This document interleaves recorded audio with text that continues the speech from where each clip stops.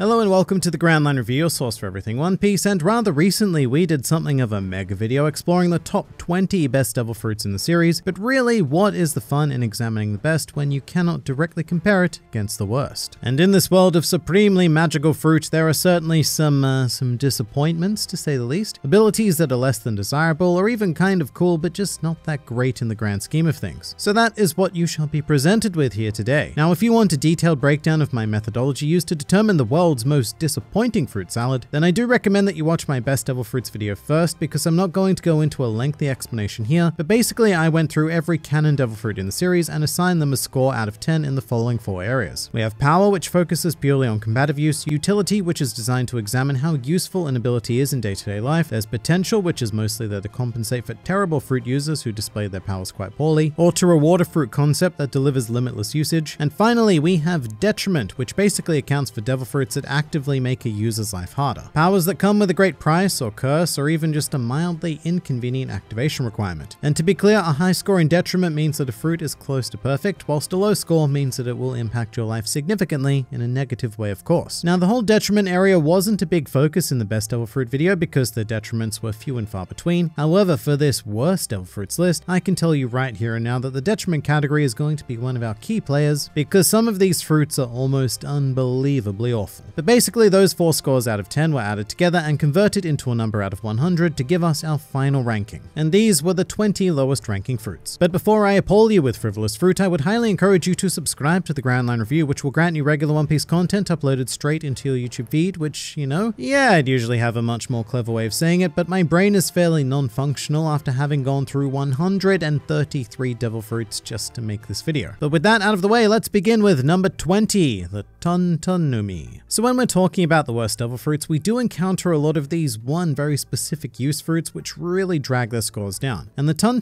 no Mi is actually phenomenal in terms of power because it can increase the user's weight to 10,000 tons. However, that power is so difficult to implement in combat because all of the user's attacks, or I guess I should say attack singular, are all basically the same thing. You float up, you crash down. Completely telegraphed and despite the fact that you can weigh up to 10,000 tons, it is a pretty useless attack overall. Meanwhile, it gets a 6 in utility simply due to the float factor, and no floating is not flying, but it's still pretty amazing and a sure to be handy ability. What really plummets us though is potential, because this fruit has very, very little of that. Other than floating up and crashing down, it's a bit of a one-hit wonder, but at the very least it doesn't come with, you know, huge detriments. You just need to watch out for crushing things and or people that you enjoy. But next up we have number 19, the Noro Noronomi. The vague ability to generate fictional Noroma photons which slow anything down for 30 seconds, a pretty funky ability actually, but with some very average scores. The reason for the 6 in power is because this fruit doesn't grant raw power itself. Rather, it grants the opportunity to use your own power. Meaning that in a roughly equal matchup, the user of this fruit should always win because they deny that opportunity to their opponent, but that will still be due to the user's own innate power rather than that of the fruit. So in terms of power, it really is only as strong as the user themselves. For utility, yes, it is pretty cool to slow things down, but I do think it has a niche limit. It's good for emergencies and maybe some scientific research, but probably not a common everyday use like say floating or flying would be. Now potential has a very low score because Foxy was actually quite a competent user and he invented all sorts of crazy accessories, but that only goes to show the extremes one needs to go to in order to make this fruit versatile in any way, because it's surprisingly not all that great in this area. Once again though, solid detriment score, you just need to watch out for the possibility of slowing yourself down, which can easily happen. But to truly explore the world of detriments, we are going to head to number 18, which will be the Baku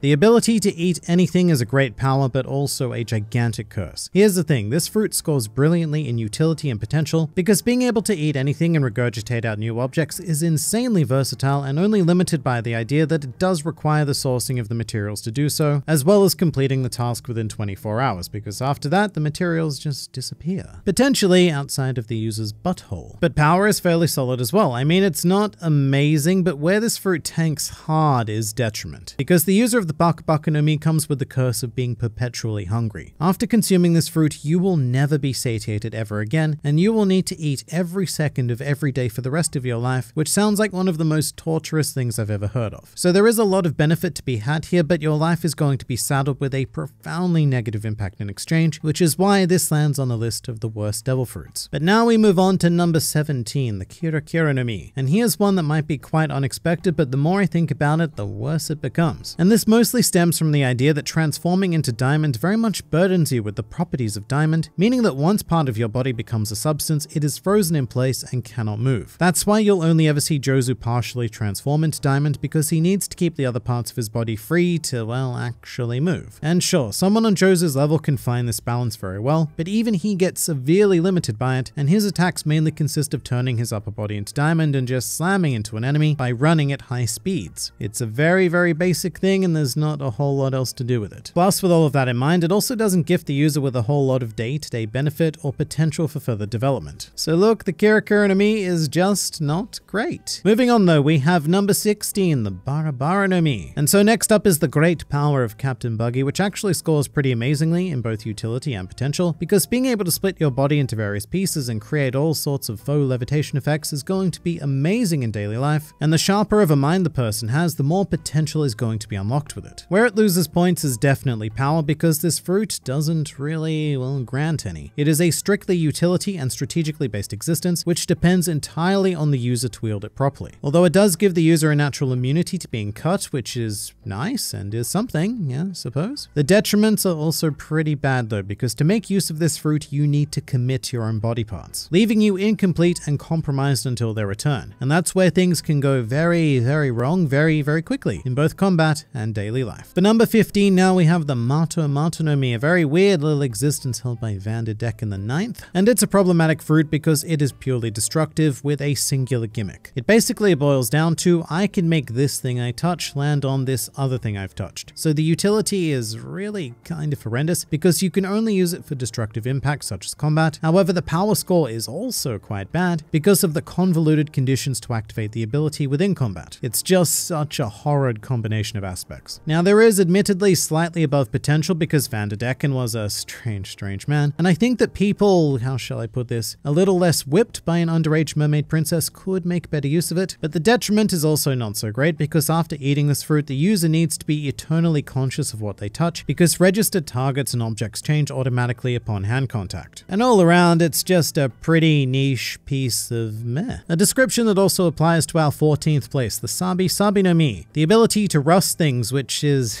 uh, yay. Look, admittedly, it was fantastic on that one time when Shu used it to immediately destroy one of Zoro's swords, and I should make it clear that we are examining the canon usage of the Sabi Sabi no Mi as well as every other fruit, which is relevant because in the anime there was a filler scene where Shu actually managed to use this power to rust Zoro's arm as well, and if that were possible, then I don't think the fruit would be on this list. However, in the manga, Shu has only been shown rusting metal objects, which makes sense, but also as a result, the power, utility, and potential of the Sabi Sabi no Mi all take a huge hit because they only operate well under very niche conditions and only for a singular destructive purpose. But on the bright side, I suppose this fruit has absolutely no detriment, so there is that.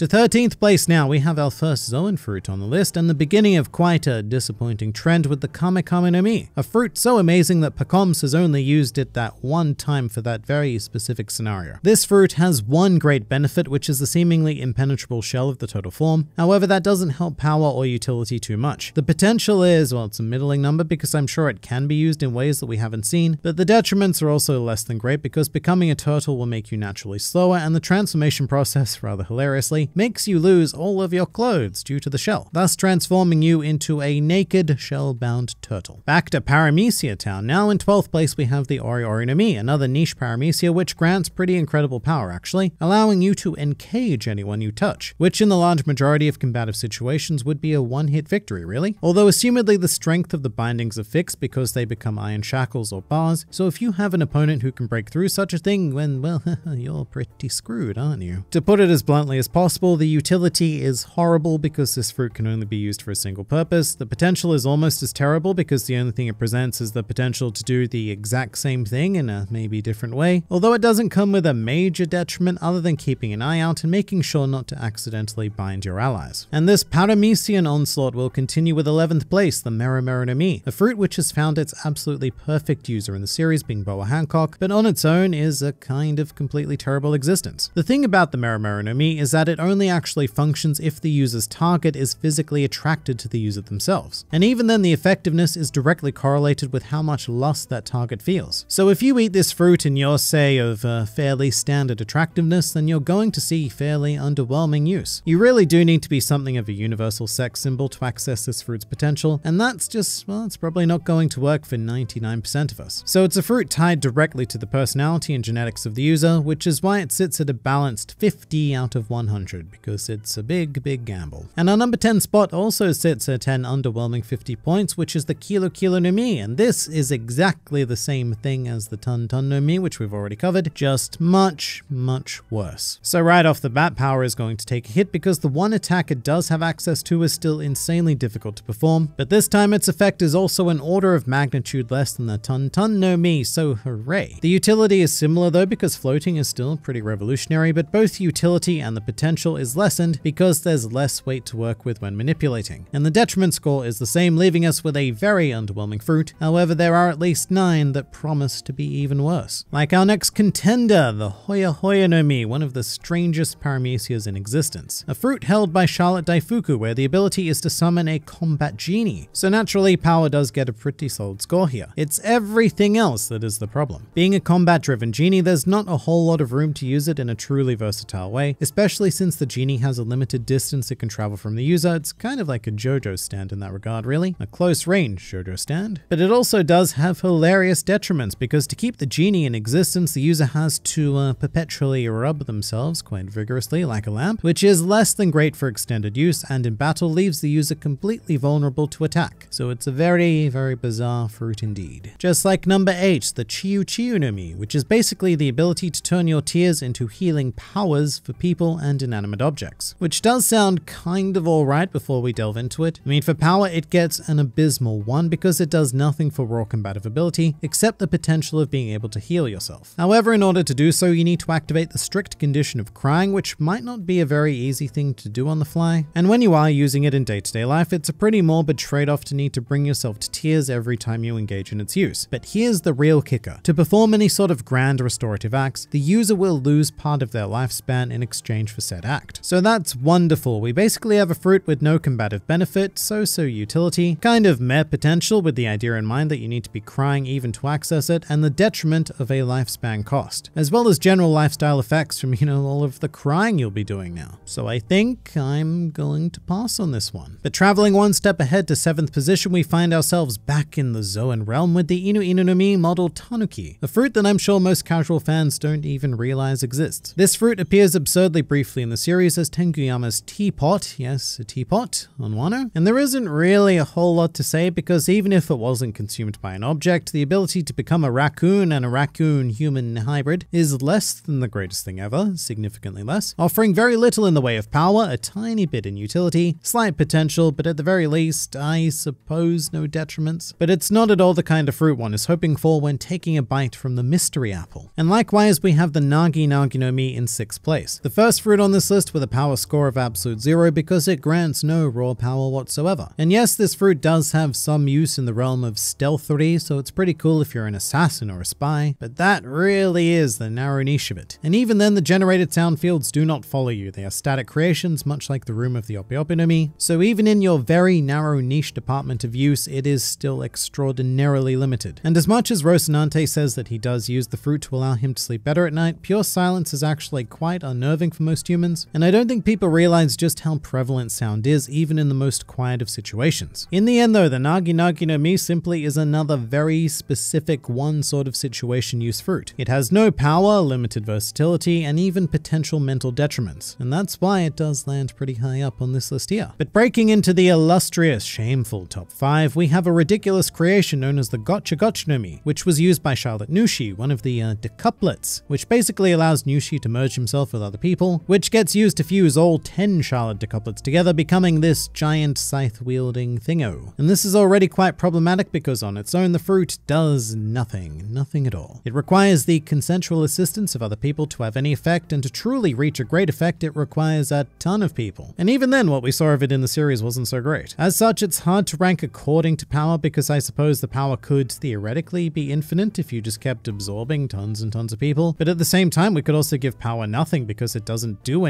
without the other people. And no other area makes up for that either, in fact, they make it much worse. Primarily due to requiring other people to do anything with the ability, but also if you were to merge with another Devil Fruit user, that could potentially even kill you. But still, it's not quite as bad as number 4, the Jake Jake no Mi, which has a very similar concept to the Gocha Gocha no Mi, except somehow so, so much worse. Because here the user needs to turn themselves into a jacket and then literally be worn by a willing fusion partner, and it can only be one as opposed to seemingly infinite people. But how's that for an amazing devil fruit? The ability to turn yourself into a powerless piece of clothing that is reliant on having someone with actual power wear you. So look, we're well and truly into some joke territory now. Which we will continue with the bronze medal being the Hito Hito no Mi, which is specifically Chopper's fruit and not Sengoku's, which is the Hito Hito no Mi Daibutsu. And this fruit gives you, a human, the ability to transform into a human or a human-human hybrid, which would still be, according to my calculations, a human. And to answer all of your comments right now, no, this fruit does not grant a human user enlightenment. Oda never said that, it's an urban legend spread by a bad fan translation of an SBS segment. Do not believe everything you see on the internet, even this. Nor does it allow a human user to access Chopper's transformations because those are achieved through a mixture of human and reindeer DNA. The important part there being the reindeer because as we've already gone over, a mixture of human and human will only result in a further human. A human who has lost the ability to swim and gained potentially at all. Which is why the only score of relevance with this fruit is potential, because it does have the potential to do something to a human user, but it also comes with the great risk of doing nothing at all, thus giving you a curse for no benefit. Still, even that might be preferable to our number 2, the Inu Inu no Mi.